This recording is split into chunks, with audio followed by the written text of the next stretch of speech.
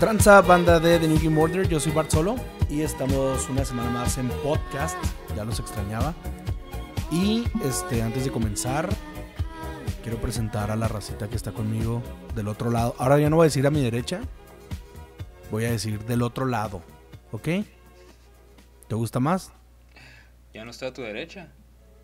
Pues es que realmente nunca estuviste a mi derecha soy ya como que estábamos en el mismo lugar. Entonces dije, ok, del otro lado, del otro lado del, del cable. Te atreviste a mentirme, vato. Yo te pregunté muchas veces si en realidad está a tu derecha y tú, sí, güey. sí, sí estás, pero a mi derecha, muy derecha, vato, allá en tu casa.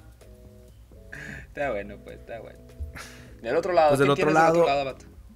Del otro lado, a mi derecha. Tengo a Nexart. ¿Qué onda, Nexart? ¿Cómo andas? Muy bien, vato, ¿tú cómo estás? muy, muy, muy triste, pero bien. No puedo quejar. Sí, estuvo bien zarro todo este pedo. Mendigo año feo. Eh, eh, qué año tan horrible, vato. En serio. Se hace un año muy feo. Sí, yo sé. O sea, fuera de, de broma y fuera de dramas y todo ese rollo, ¿cómo han pasado cosas horrendas en este año, eh? O sea, normalmente sí todos los años pasan cosas feas, pero este año, o sea, empezó de una manera horrible y como que no ha habido una como que una noticia chida que nos alegre o algo que nos haga así como que más o menos calmarnos, o sea, una tras otra tras otra y cosas graves, cosas muy graves. ¿Qué onda? ¿Qué estará pasando? Mira, este grave todo, ¿no? O sea, comenzó el año medio medio piratón y ha habido noticias de todo tipo, así que no, que se va a desatar la tercera guerra mundial, no, que el coronavirus y bla, bla, bla, lo que tú quieras, ¿no? Pero, en serio, una tras otra, ¿no ha habido un mes que no haya una mala noticia? Pues es que ni siquiera, creo que, creo que, deja tú el mes, creo que no ha habido ni una semana en la que una semana no nos digan algo así como que, oigan, por cierto, este, el mundo se está acabando, ¿eh? Ah, por cierto, aparte de que el mundo se va a acabar, el sol se va a apagar, ¿eh? Ah, aparte de que el sol se va a apagar, va a lanzar rayos láser a todos los planetas que están alrededor para que exploten. Ah, por cierto, van a explotar y se van a tumbar a las galaxias que siguen. O sea, está húmedo, zarrón. Semana tras semana. Y no, cayeron meteoritos, este... Y pues los cayeron tres meteoritos en Afganistán y pues eso va a hacer que en Tumbuktu y en Tailandia exploten 200 volcanes. ¿Sale? Ya sé. Por cierto, no puedes salir de tu casa y pues está la Tercera Guerra Mundial. Entonces, usted quédese jugando Animal Crossing muy a gusto. sí, no queda de otra, güey. O sea, definitivamente no queda de otra. Vi un post en no sé dónde, creo que lo vi en Facebook, o me lo pasaron por WhatsApp, no me acuerdo, que decía, ya ven, tanto ejercicio, tantos estudios, tanto quién sabe qué, para que al último estuvieras en tu casa jugando videojuegos. Ven, lo que vale es. ven que sí vale la pena comprarse una PC gamer, babosos. que, Buscando pretextos, ¿no? Así, así como que, oye, pero como, si de repente un día te levantaras y dijeras, ah, voy a hacer una PC gamer por si el mundo se acaba mañana y vengo. Pues de hecho yo por eso la hice. ¿Cómo eres mentiroso? Vato mamerto. Oye, y estoy muy triste por varias razones. Voy a empezar por la más pedorra. La más pedorra es que no he podido ni podré jugar pronto Final Fantasy VII Remake. Ah, caray. O sea, yo. Yo sí voy a. O sea, como que. Yo sí tengo derecho a decir eso. Pero tú, ¿por qué? O sea, yo porque yo juego en PC. Y el juego tiene exclusividad de un año con PlayStation 4. O sea, sí entiendo que, cha, que tú vas a tener que esperar un año, puede que menos, si se, si se comportan chido, pero como pinta el año al parecer, pues no sé, se va a acabar los Final Fantasy antes de que esto pase. Este, pero tú tienes un Play 4, ¿por qué tú no? Yo no, lo, no le voy a entrar, o no le he entrado, porque le he dado prioridad a otras cosas. Ahora con, con eh, todo este rollo de la contingencia y así, pues la neta es que con el dinero... Eh, le he dado prioridad a otras cosas y tengo muchísimo backlog ahorita. Entonces le di prioridad a, terminar con mi backlog y así. Y luego ya después le entro a Final Fantasy VII. Oye, hablando de backlog, acabo de agregarle a mi, a mi montaña de juegos sin, sin usar. Le agregué otra esferita. Haz de cuenta que yo la montaña de juegos, el backlog me lo imagino como un árbol de Navidad. Y entre. Ok, y oye, está buena esa y le vas y- echando y una cada esfera y una es una esferita, vato. Así cada juego es un, es un adornito. Entonces le acabo de poner una esferita nueva a mi árbol de Navidad de juegos sin usar. Este, fíjate que. No sé si sabías que a- a- yo soy mucho de jugar juegos que nadie juega. Este, no por hipster, sino porque pues por alguna razón a mí sí me gustan. Es como que, eh, jueguen este juego. Y todo el mundo como que no lo pela. Es que está bien chido, sí, pero nadie quiere jugar Usominashi Tutoita Saken 4. Cuatro. Ajá. Remake. Sí, remake HD, así como que, es que jueguenlo. Así estoy yo, ¿no? Una de esas sagas que yo soy muy, muy, muy, muy, muy, muy fan, así fan aférrimo, juego desde hace muchísimos años, son la saga de Super Robotyson. Uy, claro. Para la raza que no sepa qué son los Robotyson, imagínense eh, Fire Emblem, pero con, con franquicias de robots japoneses, o sea, con Gundam, con Massinger Z, con Evangelion, con Code Geass, con GT Robo, todos esos, ¿no? Pero haz de cuenta es un tipo Fire Emblem. Y son juegos muy complicados y también son juegos muy cinemáticos, ¿no? O sea, son de que una misión, así una misión pedorra de mata a cinco vatos te puede tomar hasta Duras- 40 dura- minutos. Dura 40 minutos más o menos. Sí, sí, sí, sí. Entonces, eh, salió uno para PC. Hace What? ya, hace, eh, se llama, déjame te digo, porque aquí lo, te- aquí lo tengo. Mira, es, eh, se llama SD Gundam G Generation Cross Race, porque japoneses y no saben cómo hacer nombres cortos, ¿no? SD Gundam G Claro. Generation Cross Race. Y estoy, batito, estoy, hijo es una, extasiado. Así tenía tantas ganas de un juego de robots desde hace tanto y salió este juego y dije, ¡ay, una esferita nueva para mi... ¡Ándele! Para mi arbolito de ¿Y ya lo agarraste? Ah, lo ando jugando. Ahí lo ando jugando. Está, nice. está justamente como esperaba. Difícil. Así difícil de que, ay, tomé una mala decisión, ya, game over. Así. Porque no, no llegaste a un cuadrito en el que tenías que poner una unidad. Ya valiste queque desde el principio. Órale, vato. Está chido. Pues yo tengo el Robotizen, uno de los Robotizen de Advance.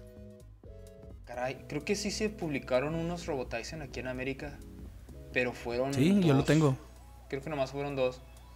Y. Y si están. Y cuando gustes te lo presto, ¿eh? Si están dos triquis, si están dos triquis. Deja, no, no, no des otra esferita, vato, espérate. Mi árbol ya está así como que, "Eh, estoy bien pesado, quítame algo. Sí, me- nomás porque me aferré a quitarle el Doom Eternal, vato, si no ahí también ahí andaría. Que por cierto, qué juegazo, Doom Eternal. Qué... ¿Ya lo acabaste? ¿Sí lo Sí, acabaste? vato, ya lo... De hecho, ya estoy por pasarlo al 100%, el Doom Eternal. Así. Hace- aventarme un jundo. Uf. Está Al, al rato. Al rato lo calo. No ando en el mood de Doom Eternal, la verdad. Bueno, no es como tal mi tipo de juego, entonces, pues. Sí tengo que andar en el mood. Y ahorita no. No, no traigo mood. Pero luego lo voy a tener que probar. O sea, es un must. Es un must. Está uff, uff, así con letras mayúsculas. Está. uf. Ajá. Oye, vato. Y pues la última noticia mala, horrible. Este. Pues es que el sábado, o sea, hace dos días, falleció el Gus Rodríguez. Sí, gato, sí vi, vi que falleció. Bueno, yo la noticia la vi porque me salió en Twitter. Este, me salió como eso el viernes a la medianoche. Me, me enteré que, que Hugo Rodríguez había fallecido. Qué, qué horrible, güey. Estuvo horrible. Qué feo, ajá. O sea, está, me quedé pensando mucho en ese rollo y es que puede que mucha gente no entienda, pero es que murió un ícono vato del gaming de nuestra generación. Así, canijo. O sea, dirás tú, ay, es que era un youtuber famoso, ¿no? Digamos, hablando de calibres, ¿no? Es que era un youtuber muy famoso y la gente lo quería mucho. O es que era una celebridad mm, famosilla o muy famosa en, cierta comunidad. Pero es que pues, eh, Gus sí era más que eso. Al chile sí era más que eso. y Mucho más gente- que eso. Sí, mucha gente sí sufrió, sí sufrió mucho ese, ese golpanazo. Yo, por ejemplo, así... O sea, me caló más de lo que me gustaría aceptar, vato. Que haya muerto Gus Rodríguez. Yo fíjate que no soy mucho de que, ah, falleció alguien. Ok, pues qué bueno, no. Bueno, no, no que diga que qué bueno, sino que más bien como que, ok, pues este. Qué triste, Ni pero yo continúo, ¿no? O sea, yo continúo mi vida, no lo conocí al vato, no me afecta directamente. Tal vez se hacía muy buen jale, tal vez yo sí era muy fan, pero pues falleció, qué triste, la vida continúa, ¿no? Y pero muy pocas personas que, que yo admiro y que hayan, que hayan lamentablemente fallecido me han dolido. Así que diga yo, ah, sí me cala. Y Gus era una de esas. Sí, sí, sí, sí me dolió bastantito. Qué triste ese rollo. Mira, ahí te va por qué. Porque duele. Duele porque justo la semana pasada estábamos hablando de que estaba cerrándose el círculo del gaming de nuestra generación. Justo hablamos de eso la semana pasada. Cierto, estábamos diciendo que ya no había nada que quejarnos y mira. No, y con esto ya se cierra completamente. O sea, es como oh, entender, es un trancazo, un bachón. Y entender, ya terminó, vato. O sea, ya, ya no hay Nintendo manía. O sea, desde hace muchos años, pero o sea, ese tiempo ya terminó. Y con esta muerte, como que te haces un, como un balde de agua fría que te hace entenderlo, ¿no? Sí te entiendo. Sí entiendo. Pero, este, estoy, estoy triste, pero me gustaría recordarlo y hacer como este podcast especial de, del Gus Rodríguez, porque me gustaría recordar, eh, tratar de recordar tú y yo a manera casual, qué es lo que ese vato dejó en, en tu vida o en la mía, o en el- nuestras costumbres, en nuestro gaming desde morros. Para empezar, no le llamábamos gaming. Nah, hombre. Para empezar. Desde ahí empieza todo. Desde ahí empieza todo. Ajá. Cuando veíamos a Gus Rodríguez ni siquiera estaba de modita o no estaba esa tendencia de que la gente le empieza a poner nombre a todo, sobre todo como que ese esa regionalización de agarrar palabras en inglés y usarlas como si fueran en español, que como me Haz de cuenta que cada vez que alguien hace eso siento como me suben los triglicéridos, vatos. Pues sí, pero al final de cuentas todos terminamos haciéndolo, ¿no? Fíjate que desgraciadamente sí, pero yo lo evito a más no poder. Prefiero quedarme como cinco minutos callado intentando buscar la palabra en español, aun porque no me acuerdo cómo se dice, que andar diciendo cosas así. Por ejemplo, eh, procuro mucho, no, no, por ejemplo, que algo que se utiliza mucho en, en la comunidad gaming es que utilicen la palabra fidear. Híjole, cómo me cae mal que digan Y yo la eso. uso, yo la he usado, todos la hemos usado, vato. fidear. No, yo no. Yo sí prefiero quedarme Ando callado y decir esa cosa que andar diciendo esos modernismos. Entonces, mm, a lo que voy con esto es de que veíamos a Gus Rodríguez antes de que nosotros le llamáramos gaming. O sea, ya como que ah, vamos a meter la, vamos a meter la palabra en inglés gaming. No, nosotros nomás decíamos jugar videojuegos y ya. Es la- vamos a jugar en Nintendo. Vamos a es más, así la neta era como, eh, vamos a jugar Super. Así, simple. Ándale, pon el super, Vamos a jugar al Super. pon el super, pon el 64. Me acu- Oye, sí es cierto, cuando... Y Cuando yo vi, a ver, déjame, me estoy acordando porque trato, créeme, estoy batallando horrible, estoy desen- desempolvando muchos recuerdos que tenía bien metidotes acá en el, en el sótano de los recuerdos. Cuando veía yo Nintendo Manía, el 64 todavía no salía. O sea, no, claro que no. De hecho, acuerdo- déjame te digo algo. a ver, dime. Déjame te cuento algo. Nintendo 64 salió en el programa Nintendo Manía cuando anunciaron todo lo que hubo en esa E3. ¿Sí? Y en Nintendo Manía yo vi por primera vez en Nintendo 64. En el programa Nintendo Manía. Yo también. Me acuerdo que anuncié que fue donde vi por primera vez el Nintendo 64 y yo no lo podía creer. O sea, veía los, los gráficos y decía yo, es que ya estamos en el futuro, vato, me acuerdo. Que dije, no lo puedo creer. Lo que estamos, lo que estoy viendo. Ah, la tecnología es increíble. Así me quedé. Mi, mi mente de niño de 6 años o de 7 años, no me acuerdo cuántos tenía. Estaba que te gusta en segundo de primaria, más o menos. Dice yo, es que es imposible este rollo. Es increíble el 64. ¡Wow! Era, era increíble verlo, vato. O sea, era increíble todo. Y yo lo vi por primera vez en Nintendo Manía. Y de, de ahí quiero hablar poquillo del, del Gus. O sea, yo. todo este acercamiento con él comenzó con la revista Club Nintendo. Simón. ¿Tú viste primero Club Nintendo y luego Nintendo Manía? Sí. Sí, Ah, yo, no, yo, yo, yo sí ahí te va. Ok, te cuento. Yo empecé con la revista Club Nintendo a comprarla porque yo iba mucho con mi abuela a cobrar su cheque. Ok, y yo siempre era que acompáñame, mijo, ¿no? Entonces íbamos mi abuela y yo a cobrar su cheque y llegábamos a un lugar en el centro, acá en Chihuahua, donde eh, estaba cerca de donde ella tenía que cobrar. Y ahí había un puesto, como un local de revistas. No era un puesto de revistas, sino era un local. Y vendían periódicos y cosas de Ciudad de México. En ese lugar vendían así como que todos los periódicos de Chihuahua, más periódicos de la Ciudad de México, más revistas y cosas así, ¿no? Estos, estos tipos, estos tipos locales, típicos locales hermosos de aquellos tiempos que uno como niño era, wow, todo lo que hay ahí adentro. Porque acuérdate que vendían así revistas de colecciones de, de carros, ¿no? Así de que revista de autos y traían un carrito, qué sé yo, o traían cosas para armar, o todo ese tipo de revistas que se, usó- que se usaron mucho en aquel tiempo. Sí, me acuerdo, me acuerdo que había revistas que incluso te tenían como que cosas que te regalaban, como que piezas, no sé. La verdad nunca Sí, me- sí, había de todo. Se usó mucho en ese tiempo. Se usó mucho en ese tiempo. Entonces yo entraba con mi abuela ahí. Y ahí vi por primera vez la revista Club Nintendo. No, por ahí debe de andar en casa de mi mamá. eh, yo tengo algunas acá conmigo. Pero las demás deben de estar por ahí en casa de mi mamá. Los voy a buscar. Y este. Y ahí yo compraba esa revista. Y ahí era donde yo. Donde yo me enteraba de las cosas. O sea, yo. La verdad es que uno, cuando empieza a jugar, en aquel tiempo que empezabas a jugar, pues solo conocías Mario, Mega Man por ahí, porque un primo tuyo, lo que sea, tú lo tenías, por alguna razón. Y ya, vato, o sea, no era como que tuviéramos mucho acceso a información como ahora. O sea, ahora tú puedes conocer el juego japonés más raro del mundo porque está en internet. Exacto. Y en aquel tiempo uno conocía por medio de revistas y cosas. Y en este caso estamos hablando de Club Nintendo. Entonces, yo compraba esa revista, ¿por qué?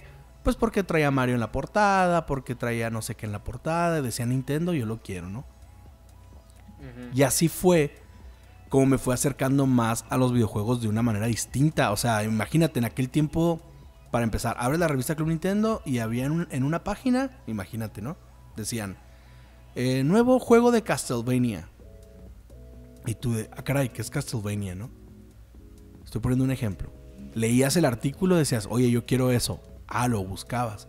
Y yo ya había platicado que con mi abuela jugaba, eh, la, cuando la acompañaba a esto de, su, de cobrar su cheque, llegábamos a Sears, vato. Porque mi abuela pagaba así su, su, su mensualidad o lo que sea. Y ahí yo aprovechaba, vato. Yo aprovechaba para comprar cosas. Entonces imagínate, yo salía con mi revista Club Nintendo Ajá. y un juego. No, hombre, vato. Qué perrón. Así casi, no voy a decir que cada quincena, pero muy seguido llegábamos a Sears, pagaba ella y yo compraba un juego. O sea, le lloraba hasta que me lo compraba. es neta. Vato chiple. Y yo, y te- sí, gracias. y te enterabas por medio de... Las ventajas de ir con tu abuela a algún lugar, ¿no? Eso no es nuevo ni es, ni es único de mí. Todas las abuelas eran iguales. Sí, sí, sí. Y este, y yo así, así es como conocía juegos y así, así es como conocí este franquicias que hoy en día me traban. Por ejemplo, yo recuerdo haber visto en Nintendo Manía, en, perdón, en Club Nintendo, Mortal Kombat. En serio. Así, oh, caray, ¿qué es esto? ¿No? Y yo quiero jugar y... Y pues de ahí fue, me explico. Entonces, ese vato, o sea, el Gus Rodríguez, que si bien no lo hacía él solo, también estaba este, Pepe Sierra y otros por ahí. eh, pues fueron... Es un icono que metió los videojuegos a nuestras vidas de una manera diferente. Porque antes era solo, le prendo, brinco, me matan, lo apago, fuga. Y él hizo que en México y en Latinoamérica llegara esta pasión un poquito más allá de lo normal. Yo conocí a. Yo, yo sí, conocí Nintendo Manía antes que Club Nintendo.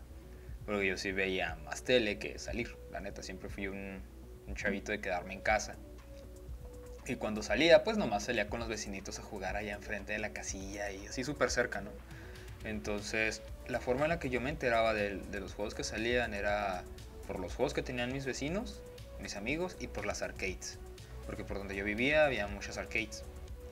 Qué Entonces, chido. Así es como yo me, me daba cuenta de los juegos que salían. Y un día, no me acuerdo cuándo, fue que ya conocí después los, las revistas de Club Nintendo. Me acuerdo que una de las primeras revistas de Club Nintendo que compré, este, la compré porque en ese entonces yo era, yo estaba bien volado con StarCraft. Ah, ok. Sí, me acuerdo que estaba bien volado Salió con un... StarCraft. Era un especial de juegos de estrategia, ¿no? No, no, no, no, no, no, no era un especial de juegos, era una revista así, pues normal. Es que me acuerdo que tenía- Club Nintendo sacó un especial de juegos de estrategia. Ah, yo no sé, pero no era esa. Entonces, haz de cuenta que en la- las últimas páginas venía la sección de StarCraft para 64. Haz de cuenta Ajá. que venía todas las un- venía toda la información de todas las unidades de todo el juego. Entonces, haz de cuenta que dije yo, ah, su Mauser, yo quiero quiero saber toda la información de ese rollo y creo que fue de las primeras que de las primeras revistas de Club Nintendo que compré. Nunca fui mucho de coleccionarlas. Las revistas de Club Nintendo las compraba de vez en cuando. Así como que, ah, vamos a ver esto, ah, vamos a ver esto otro. Y así. Pero, este, sí, cámara, o sea, sí, sí, sí, yo lo, sí, sí consumía de niño, sí consumía mucho Nintendo Manía. De hecho, fue con Nintendo Manía donde me enteré de que iba a haber, que iba a salir el Killer Instinct Gold. Que en ese Uy, entonces- claro. que en ese entonces se llamaba. No, no se llama, creo que se llamaba así Killer Instinct 2 nada más. Para arcades. Este, que iba a salir y que iban a hacer un torneo aquí en México de, de, ese, de, de ese juego. Fue, fue donde De hecho, con eso, con ese, con esos torneos que hicieron en Monterrey eh, y todo eso, fue con la, como la gira de presentación del, de como que, que hicieron una, un partnership Nintendo con, con Nintendo Manía, como ya lo tenían. Y este, estaban moviendo la consola ahí. Me acuerdo que, lo- que los premios estaban chidos, que regalaban consolas y todo. Sí, Entonces estuvo muy, De muy, hecho- muy- fue- fueron de hecho, tiempos muy chidos. transmitieron- Transmitieron la final. Me acuerdo que transmitieron la final de. de. de ese torneo de Killer Instinct en, en- en Nintendo Manía. Y me acuerdo que fue una victoria devastadora para quien haya ganado. Sepa quién era. La neta no me acuerdo, no sé. Pero me acuerdo que ganó con Tusk. Este, y le puso Ah. una reverenda paliza al otro vato, pero así fea, así que dije yo, Campos, me acuerdo, vato, imagínate qué tan fea estuvo que me acuerdo. Pues es que hay- eh, esas palizas no se olvidan, ¿no? No, hombre, que se van a andar olvidando esas cosas. Yo me quedé, "Ah, no manches, ah, qué juego tan, ah", así. Pero ahí te va. Lo cool acá es que yo, yo te estaba hablando, yo te hablé de que conocí, mi primer acercamiento fue con Club Nintendo, pero siendo sinceros, no era consciente de quién era Gus Rodríguez, ¿sabes? Tú nomás, yo compraba la revista, veía los juegos y todo, pero cuando sale Nintendo Manía en el 95, o sea, ya estaba, ya estaba más grande. Tenía, tenía siete años. Entonces sale Nintendo Uy, qué Manía. grande, vato, cámara. No, pues es que te, no, te estoy hablando de cuando compraba la revista y iba con jueguitos y así, pues yo tenía 3, 4, ¿sabes? Pero. Ah, caray, ¿a poco tan vieja es la, la revista de Club Nintendo? Como del 91, 92. Ah, caray, Sí, ¿en serio? Simón, más o menos. Si mal no recuerdo, 91, ¿eh? Por ahí. Si alguien sabe la fecha, sí, corríjame, pero según yo es 91. Y, y Nintendo Manía, sí recuerdo perfecto, es del 95. Y yo me acuerdo, yo vi, yo vi desde el primer episodio, ¿eh, vato? Yo me acuerdo mucho porque salían comerciales todo el tiempo en, en TV Azteca de muy pronto, Nintendo Manía, muy pronto, el programa que esperas. Y salía en, en los comerciales, salía el Gus Rodríguez con su camiseta de, de, De Mario. Donkey Kong. Ah, no, una camiseta. Donkey Kong verde que tenía con su gorrilla y todo. Y este, que recuerdo bien, esa es la camiseta del primer episodio, vato. No se me olvida, neta, no se me olvida. Y cuando yo veía al Gus Rodríguez y todo este, todo este programa que, que digo, podemos hablar mucho de él. Pero más bien quiero hablar de, de qué dejó ese vato en mí, ¿no? Yo jugaba a Nintendo Manía. Ay, o sea, ay. yo jugaba, sí, yo jugaba con, con, con solo y aparte después con un primo, con Wendy. Jugábamos a hacer programas de Nintendo Manía. Yo, yo tenía una cámara, este, mi, mamá tenía una cámara de esas que grababan en VHS. Ah, de esas y- cámaras que pesaban como 40 kilos. Y sí me acuerdo. Simón. Claro, Simón. claro. Y aparte, mi mamá me regaló una grabadora de cassette. Una grabadora con cassette de audio que se le conectaba a un micrófono. Y aparte tenía su micrófono. Y yo jugaba a hacer programas de radio y programas de televisión. Ajá. Y jugaba a Nintendo Manía, vato, en radio y en televisión, así de que yo quiero ser Gus Rodríguez, ¿no? Y yo jugaba. es en Pues el serio, ¿y ¿qué onda, maníacos? Y... Entonces yo sí puedo decirte, por ese vato estoy acá, o sea, por ese vato me gusta hablar de videojuegos con un micrófono enfrente. Qué chingón, güey. Entonces, pues obviamente, te digo, ahí cuando ya le ves cara al Gus, ese vato se convirtió. Era, y sabes que yo no lo veía nunca, nunca lo vi como mi papá. Siempre lo veía como mi hermano mayor que me, que me aconsejaba. No sé si sabes. Era como la imagen del hermano mayor ese vato cuando yo estaba morro. Entonces, hablando ya un poquito de más así anécdotas de aquel tiempo. Si no hubiera sido por Nintendo Manía y Club Nintendo, porque acuérdate, antes no te atorabas en un juego y lo que tenías que hacer era mandar este, una carta a Club Nintendo o a Nintendo Manía y esperar a que la leyeran y que respondieran tu duda en una de las revistas o en uno de los programas. Yo lo hacía la antigüita, vato. Así yo, yo, yo era más, más cavernícola cuando yo no tenía, cuando me atoraba en un juego. Yo lo que hacía era que quitaba el juego y ponía otro, vato.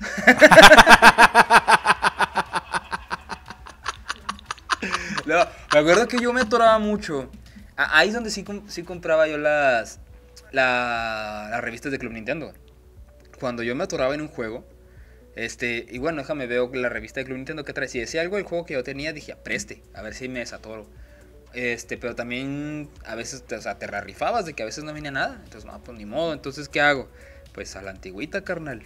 Búscale, a ver si puedes pasar. Ándale, dale, muévele. Y pues preguntándole a mis camaradas, ellos a veces sabían, a veces no. Y a eso me la rifaba. No, claro, es que así era, pero por ejemplo, eh, a mí sí varias veces me tocó por, por esos medios eh, recibir ayuda. Así me tocó a desatorarme de Turok. En Turok, eh, me acuerdo mucho de Turok. Eh, ya te he platicado, creo que había una, había una parte como de mm, coleccionar gemas o como unos cristales, unas cosas, no me acuerdo qué eran que estaban escondidas por todos los stages. Y en Nintendo Manía fue como me desatoré de esa mugre de, ah, hay una, tírate al agua y abajo de una piedra, ahí está. Y entonces así era como le hacían, o sea, Mandar la carta y cruzar los dedos así como que porfa, que salga o en Nintendo Manía o en Doctor Mario. Para que me digan cómo pasarlo, por favor.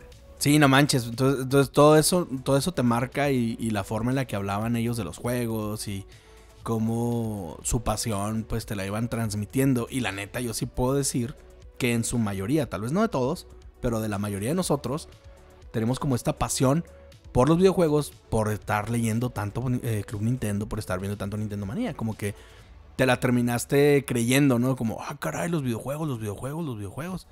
Y ya después vinieron otros programas, vato, Cybernet y otras cosas muy chidas. Pero lo primero fue eso. El primer programa de videojuegos en la tele como tal fue Nintendo Manía. Fue Nintendo Manía, fue el primer. Hubo otro antes, ¿eh? Hubo otro antes, pero no era igual. Hubo uno que se llamaba Intercontrol. No sé si te tocó, porque tú eres menor que yo. Intercontrol, no, vato. No tengo ni ¿No te la tocó? más mínima idea de qué fue eso. Intercontrol fue antes que Nintendo Manía, pero era un programa de concursos, vato. O sea, no era un programa de videojuegos como tal. Haz de cuenta que agarraron como la imagen de Nintendo y hicieron un programa de concursos como si jugaras Nintendo. Así como, no sé, como el juego La Oca o el Templo Ah, Escondido. qué cosas así. ascote, vato. Horrible, vato. Pero no había videojuegos en sí, ¿eh? Qué no había videojuegos. asquísimo. Solo le pusieron la esquina así de, de- de Nintendo. Había, era como, recuerdo que había tema de NES. No, no tengo imágenes tan... Yo estaba bien morro. No, paso, men. Paso, bye. Pero traía, traía la skin de NES. O sea, recuerdo que no sé si se sentaban en un NES o traían un control en la mano o cómo.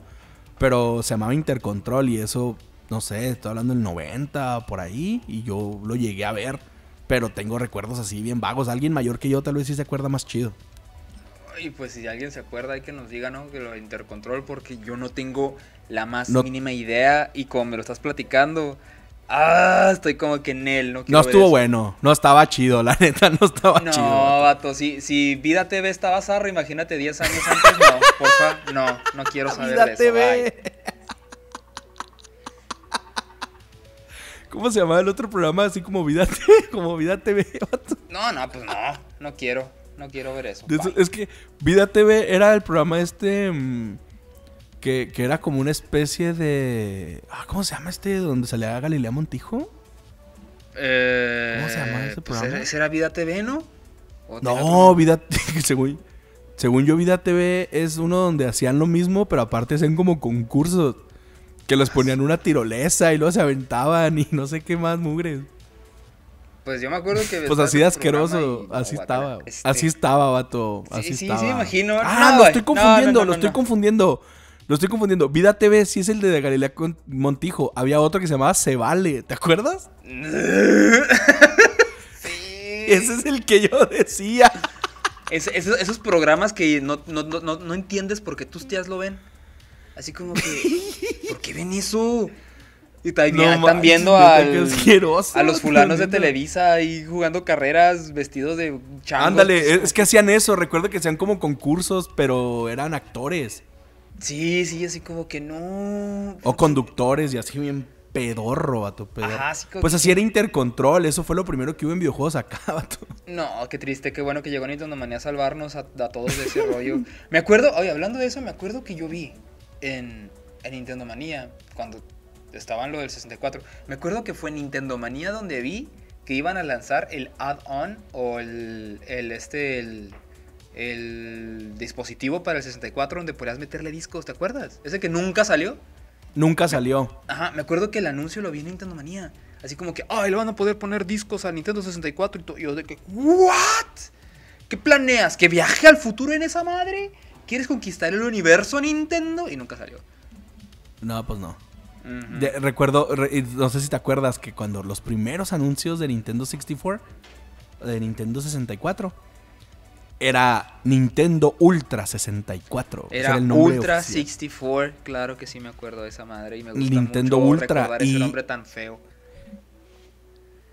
Eh, fue como el nombre clave por mucho rato, ¿no? Nintendo Ultra. Y al último salió nada más como Nintendo 64. Pero mucha de la racita que lo veíamos en, en ese tiempo, sí le, todavía le dicen Ultra. Vamos a jugar al Ultra. Sí. Porque pues tú de niño, digamos que te dejas llevar por lo más simple, ¿no? Si es Nintendo, Super Nintendo, el que sigue tiene que llamarse Ultra Nintendo, ¿no? O sea, Estaba chido el nombre. así, no sé por qué no, por, por qué no se quedó. A mí se me gustaba. pues quién sabe, va tu Nintendo a fin de cuentas. Pero bueno. Y Este, pues, este, cuando... Recuerdo mucho cuando vi la primera vez el Ultra 64. Me cagué, vato. Completamente. Sí, o sea, en ese momento era como... ahorita juegas 64, la neta es que... Sí está... Obviamente envejeció muy mal. O sea, los juegos de 64 envejecieron muy mal. Sí, sí, pues sí. O El, sea- el brinco, el brinco que hubo de 64 a GameCube es, es mucho, es mucho, mucho, muchísimo el brincote que dio.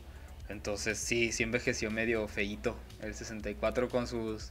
Me acuerdo que utilizaba mucho esa, esa tecnología que, que de niño no entendía qué era, pero decía yo, es que se ve feo, bueno no feo, decía, se ve raro y no me gusta. Que era que usaban planos así en 2D dentro de un, dentro de un em- ambiente 3D. Como por ejemplo Mario Kart. ¿Te acuerdas que Mario Kart los, los carritos en realidad no estaban en 3D? Era un plano 2D. Era como un, era como un recorte que estaba puesto en un ambiente 3D. No sé si te acuerdas de Sa- eso. ¿Sabes dónde? ¿Sabes quién usó mucho eso, pero muy bien? PlayStation, vato. PlayStation, usó PlayStation. mucho, por ejemplo, pero al Ajá. revés. Por ejemplo, tú jugabas un Castlevania Symphony of the Night. Uy, qué juego, porque como que, como que usaron la, la- obviamente, pues toda la tecnología, el poder de la consola para hacer renders de 2D con 3D. Sí, o sea, en vez de muy, meter cosas. de- en vez de meter cosas 2D en un ambiente 3D, lo hicieron al revés. metieron cosas 3D Exacto. en un ambiente 2D. Eso ayudó mucho a que resaltara Se ve. Ah, los se ve. detalles. Por eso Ajá. jugabas Symphony of the Night y te cagabas. Sí, o sea, decías tú, qué padre se ve. Y Nintendo, pues, hizo esas cosas que no estaban mal en, en su momento, pero sí envejeció muy feo. Y me acuerdo que a mí en lo personal no me gustaba. Por ejemplo, veía, por ejemplo, yo, yo no entendía por qué Duke Nukem 64 se veía peor que, que el Turok 2. Decía yo, es que ¿qué tienen de diferente? ¿Por qué se ven tan mal? ¿Por qué se ve tan mal? Y era por eso, porque Turok 2 es full 3D. Ah, Viejito, pero es full 3D. Y Duke. Nukem no. Duke Nukem es 2D en un ambiente 3D. Y eso era. Oye, ¿has jugado últimamente Turok eh, sin algún remaster ni nada? O sea, el puro Turok, así el original. No, no, la última vez que jugué Turok 2 original fue en un emulador. Y fue mucho antes de que saliera el HD Remaster que salió para PC. Y no, no lo he jugado.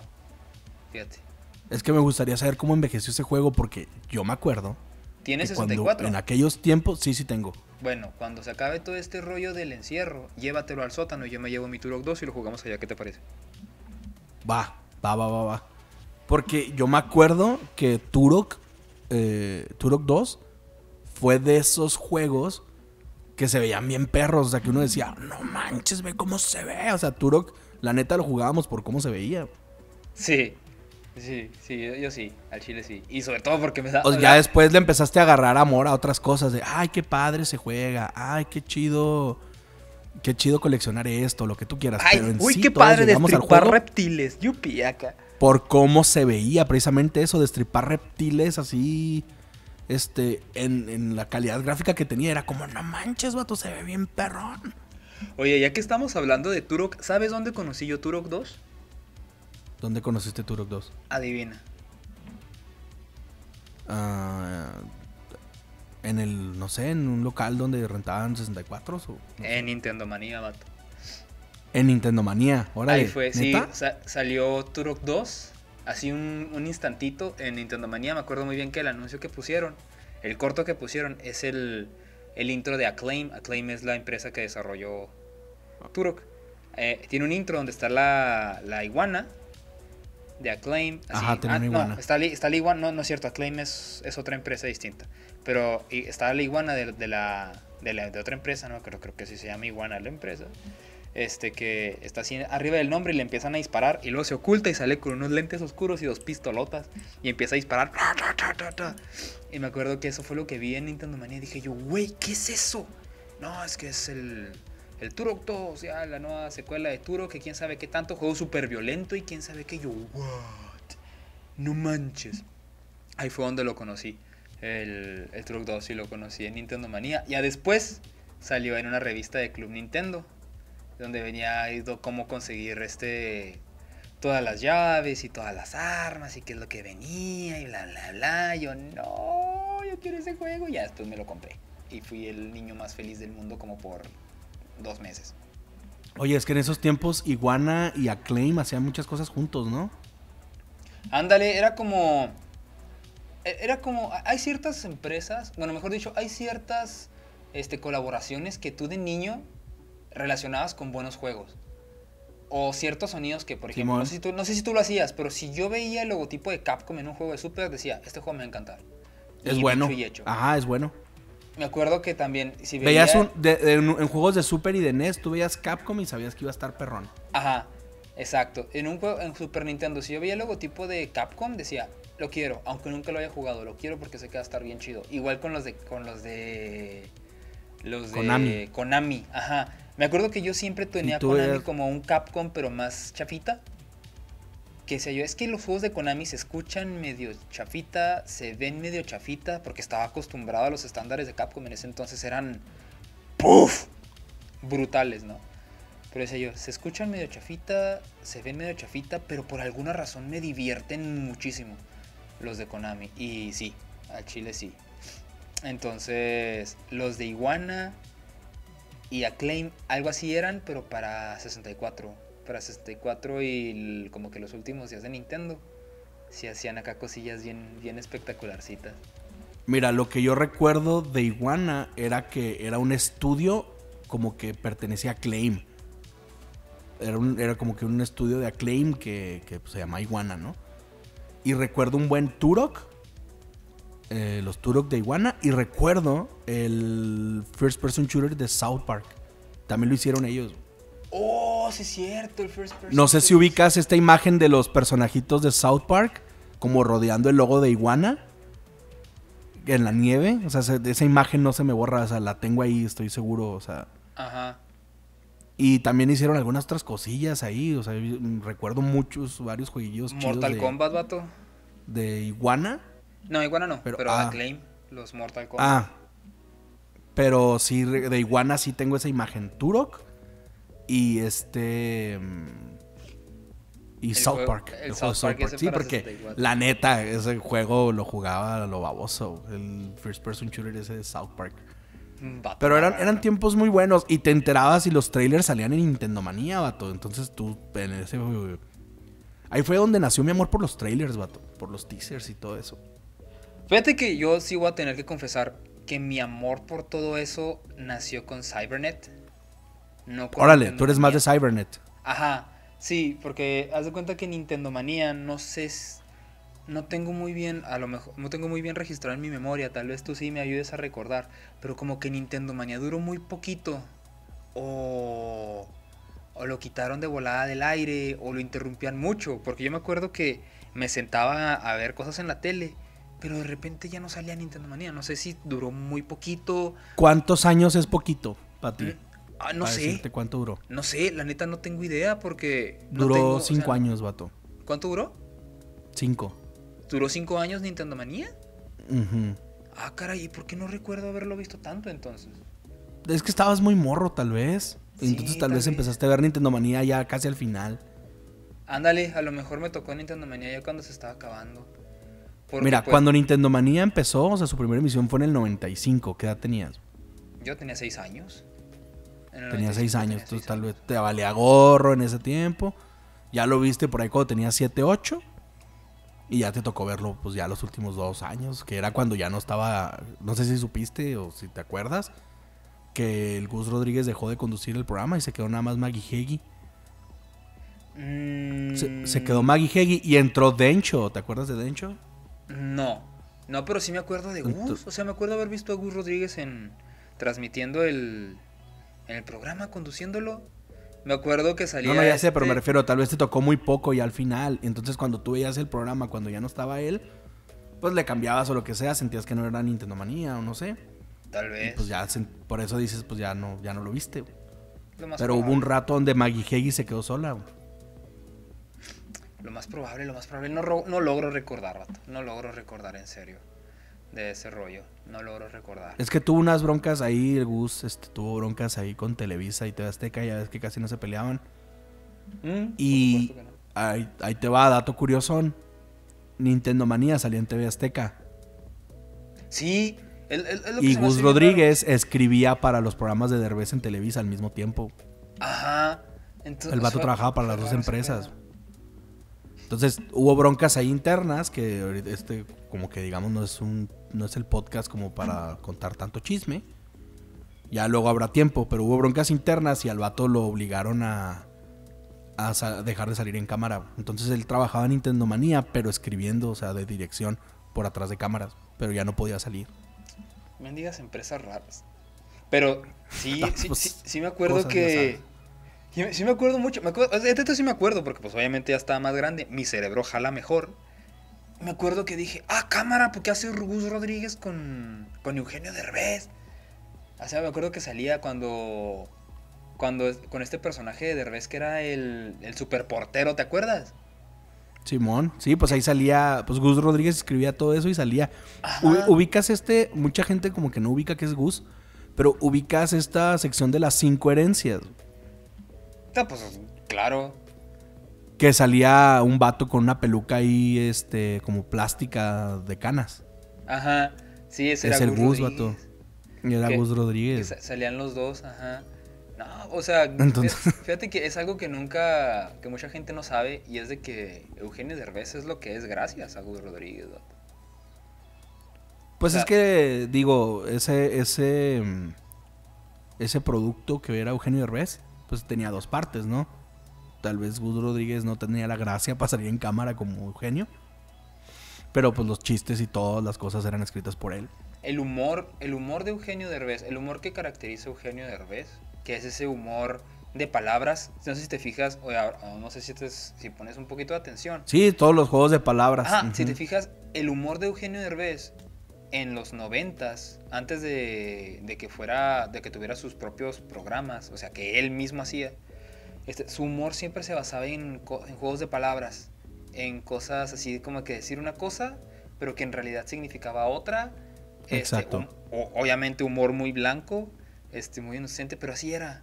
Me acuerdo mucho que Pues te hubo- diré, ¿eh? Te diré, el humor no era tan blanco, más bien estabas muy morro. Pero tú ves los programas ahora y está lleno de albures.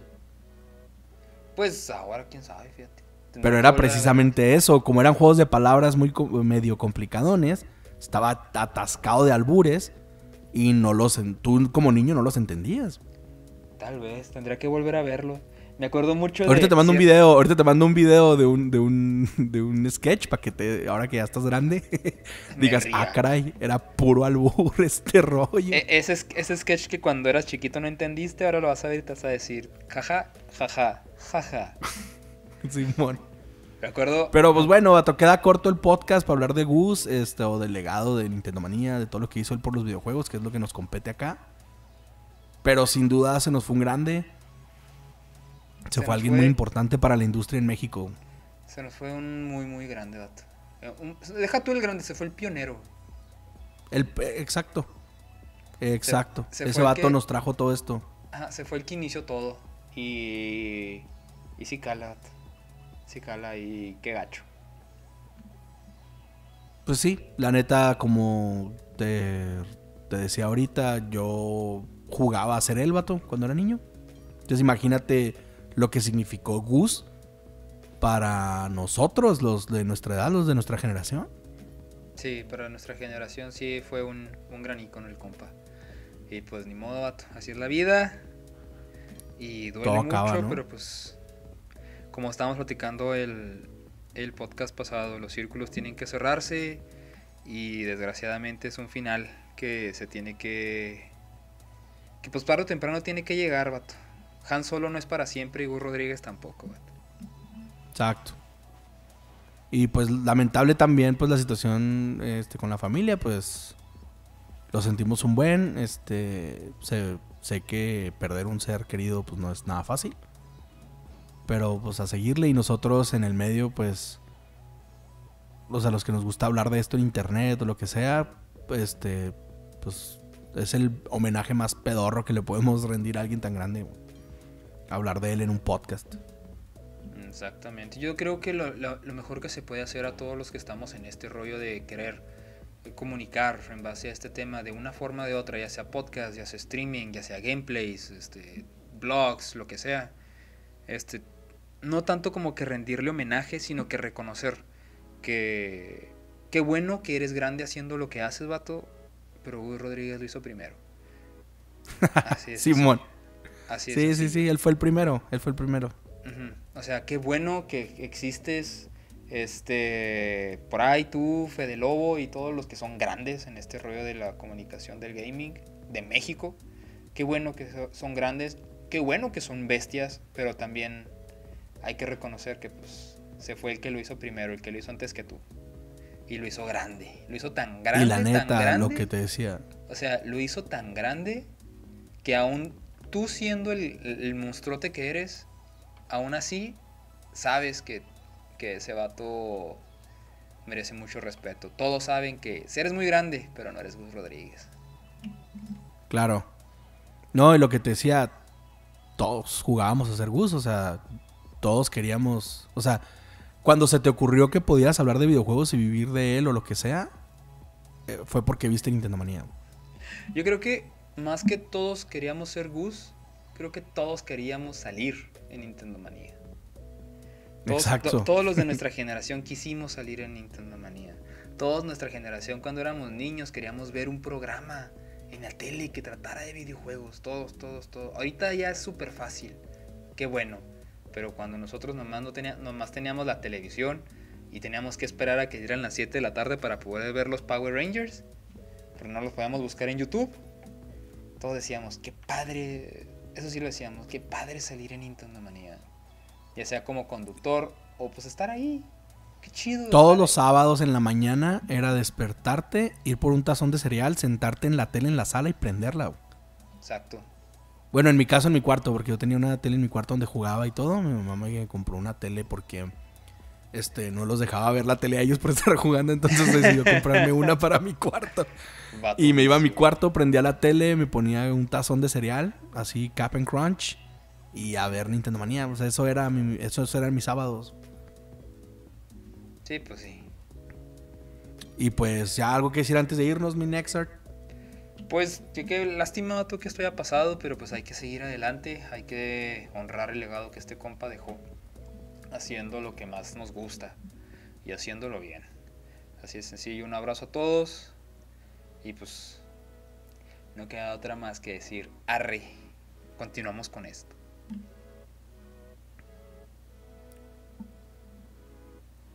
Pues sí, o sea, hay que seguir con, con- con todo, ¿no? Así O es. sea, hay que seguir dándole, pues ya se acabó y este, pues nuestro más sentido pésame a la familia Rodríguez. Y pues no se olviden de seguirnos en nuestras redes sociales, estamos como The New Game Order en todos lados, Facebook, Twitter, Instagram, en la red social que quieran, en Metroflog, en donde sea. Este, los miércoles tenemos show en vivo, estamos en Twitch, en Facebook y en YouTube. Y los viernes tenemos video nuevo en nuestro canal de YouTube. Entonces estén pendientes de lo que andamos haciendo. Eh, una mención honorífica al Gus Rodríguez. Definitivamente le damos las llaves de la ciudad, vato. Le damos su chaleco de oro, su chaleco dorado de los Premier, empleado del mes, todo, ¿no? ¿Qué más le podemos dar? Nuestros corazones, vato. Nuestros cócoros, ¿verdad? Aquí en paleta, así como gamer. chapeteada. Mi Como chapeteada, todo, vato, así. Te entierras un palito y. Órale. El mío se abre como compartimiento de Iron Man acá. Ah, machina. ah, caray, Pérez, viejo, usted me ganó. Pues esto fue The New Game Order Podcast. Así es. Ayú.